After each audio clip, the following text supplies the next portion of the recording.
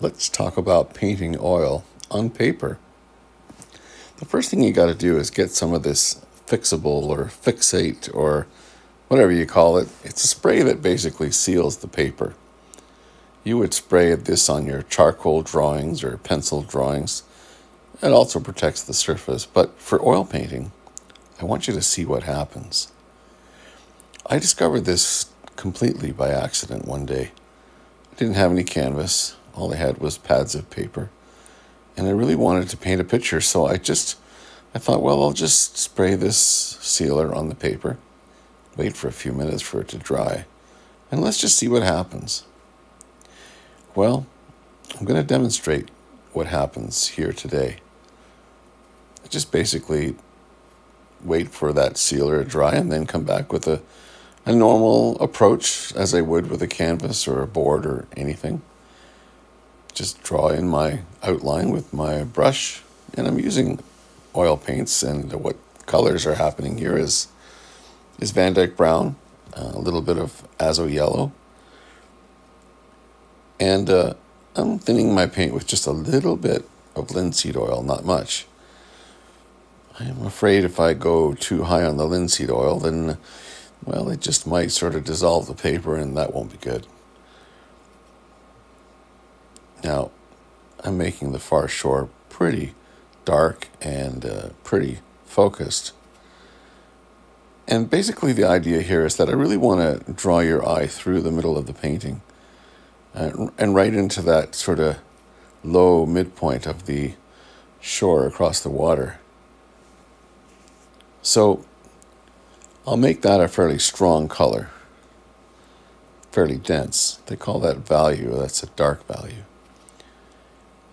I'm taking uh, Prussian blue, pretty much straight out of the tube, and uh, applying it to the uh, water, and then add a little bit of titanium white, and just kind of do that along the top of the water, which is closer to the horizon.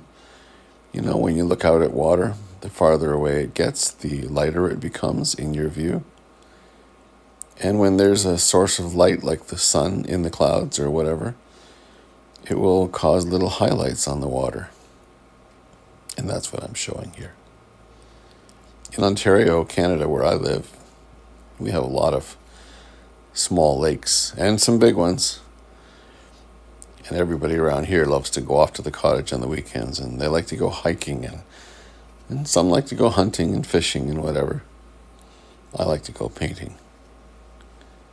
So now I'm coming down to the land that we're sort of standing on, if you can imagine that. And I'm adding a little bit of azo yellow. And into that same Prussian blue, I'm creating uh, a bit of harmony in the colors. Well, you could say it's because I just played got a dirty brush, and, and you'd be right.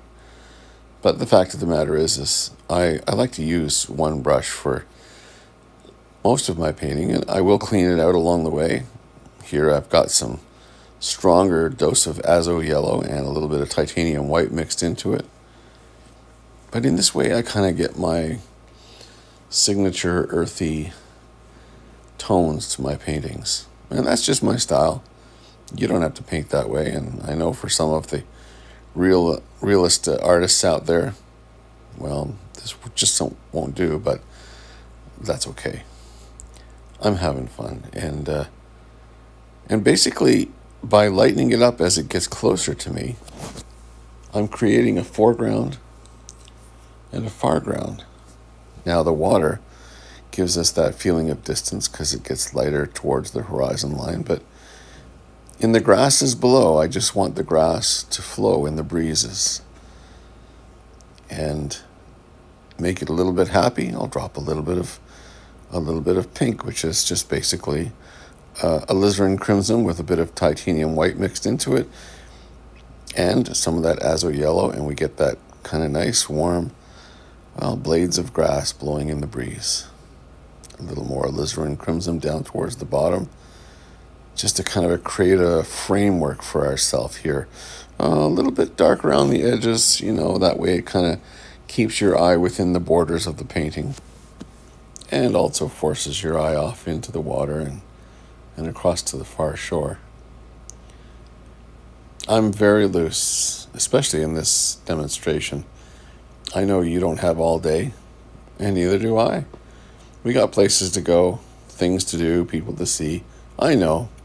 So I even sped this video up a little bit because I know, well, you got other things you want to do with your day.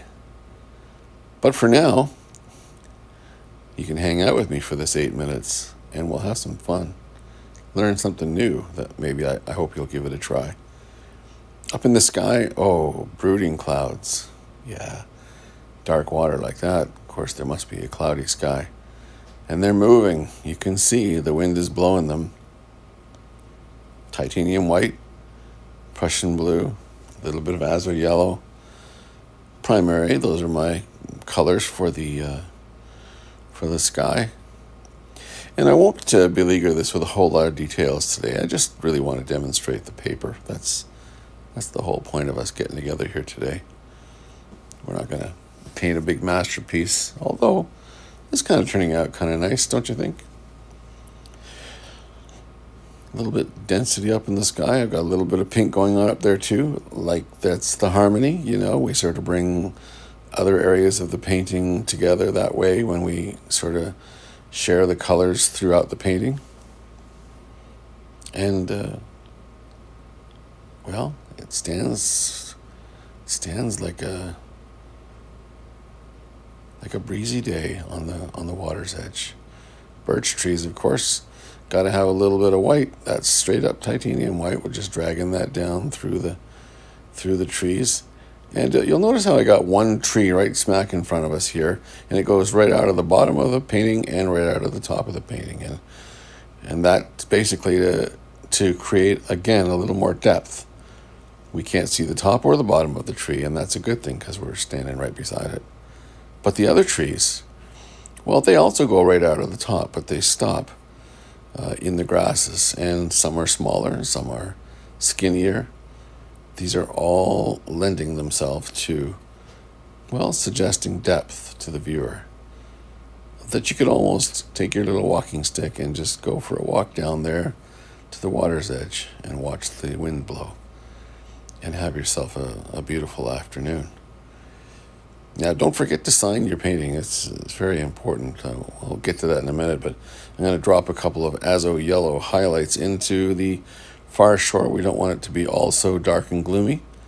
sun is shining over there too.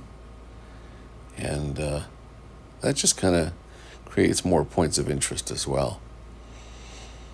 So now let's just get that tiny little brush and uh, score your name into your painting. You want people to know who did this after all.